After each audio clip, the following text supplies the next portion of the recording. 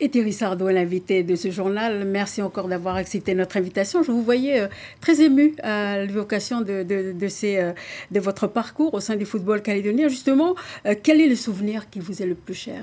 Il y en a eu beaucoup, mais bon, on va retenir la victoire en 2015 aux Jeux du Pacifique. C'était une belle expérience. On est parti d'ici, on était un peu critiqué. Nos matchs amicaux n'étaient pas parfaits. On perdait beaucoup euh, sur la préparation. Puis on a réussi à gagner un peu contre toute attente. On n'était pas favoris.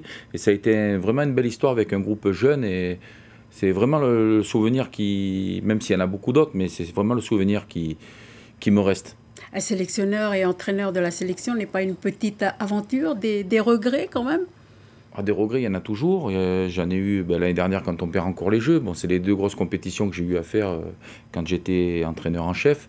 Donc l'année dernière, on perd, comme euh, disait Martin dans, l'interview, euh, enfin dans l'interview, dans le reportage, on perd contre le cours du jeu, voilà. Et puis, mais sinon, non, des, des mauvais souvenirs, j'en ai eu par rapport aux résultats, mais c'est pas vraiment des mauvais souvenirs.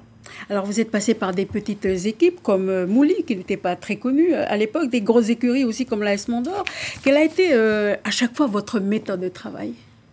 La méthode déjà, j'ai essayé d'imposer ce que moi je voulais qu'on fasse, mais je, pense que j'ai su aussi m'intégrer au football calédonien. C'était peut-être ça le plus difficile au départ, de prendre un peu euh, conscience de ce qu'il y avait à faire avec ces joueurs, mais aussi être à leur écoute et ne pas forcément amener nous, une vision trop directe du football et aussi prendre un peu dans cette culture que je connaissais pas et qui m'a fait en tant qu'homme énormément de bien depuis ces années. Qu'est-ce qui manque selon vous au football calédonien pour se professionnaliser? Ah, il manque euh, de l'argent toujours, ça c'est sûr. C'est le nerf de la guerre. Oui, c'est le nerf de la guerre. Euh, bon, euh, voilà, structurer les clubs, ça se met en place. Hein. On a vu qu'il est arrivé dernièrement deux CTR qui vont mettre des formations en place. Donc, former des cadres pour entraîner ces, ces, jeunes. Et je pense que ça passera par là aussi sur la formation des éducateurs pour pouvoir bien encadrer tous ces jeunes joueurs. De tous les joueurs que vous avez côtoyés pendant ces, ces quelques années, qu'est-ce qui, quels sont les, ceux qui vous ont le plus marqué? Il y en a beaucoup, c'est pour ça que je n'en sortirai pas un, parce que j'ai beaucoup, euh, beaucoup de, sympathie avec euh, pratiquement tous les joueurs que j'ai eus, donc euh, j'ai des histoires différentes avec beaucoup. Voilà, mais ça serait pratiquement tous les joueurs que j'ai entraînés, j'ai pas eu beaucoup de conflits, donc ça c'était, c'est vraiment une chose qui, qui, a été très bien là aussi sur, depuis que je suis ici en Calédonie. Ah, vous partez ce soir, mais je pars ce soir. Qu'est-ce qui, quelle était la, la raison principale de ce débat?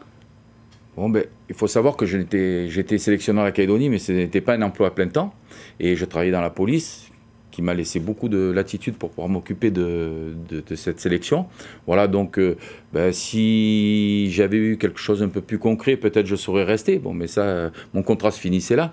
Et donc, comme je suis parti à la retraite de la police nationale depuis le mois dernier, bah, je voulais, euh, ma femme est du pays, donc je voulais qu'elle connaisse un peu la France. Moi, j'ai connu chez elle, il faut qu'elle connaisse chez moi. Ah, vous, raccrochez, vous raccrochez pas tout à fait les, les crampons, puisque vous avez d'autres projets en, métropole et toujours dans le foot? Oui, on va dans le Tarn-et-Garonne, j'ai trouvé un petit club, mais vraiment un petit club de régional, euh, plus bas niveau régional. Mais voilà, je pense que c'est déjà un premier pas pour bien s'installer, intégrer ma femme, qu'elle découvre un peu euh, la France, parce que ça va pas être évident pour elle. Et puis après, on verra un peu plus haut euh, l'année prochaine. Ou même si je suis bien dans ce petit club, euh, moi, ça ne me dérange pas d'y rester. Un dernier mot avant de partir? Non, je voulais remercier. Bon, il y a beaucoup de personnes que j'ai pas pu aller voir pour dire au revoir. Voilà, donc j'en profite grâce à vous de dire au revoir à toutes les personnes que j'ai pas pu voir et surtout remercier les présidents qui m'ont soutenu aussi des clubs et puis tous les joueurs que j'ai entraînés, les personnes, vraiment les belles personnes que que j'ai côtoyées dans le football. Et puis voilà. Et puis juste un petit dernier mot, c'est pour la grand-mère à ma femme je ramène sa petite fille. Je vous remercie encore d'avoir accepté notre invitation et puis bon vent euh, pour vos projets.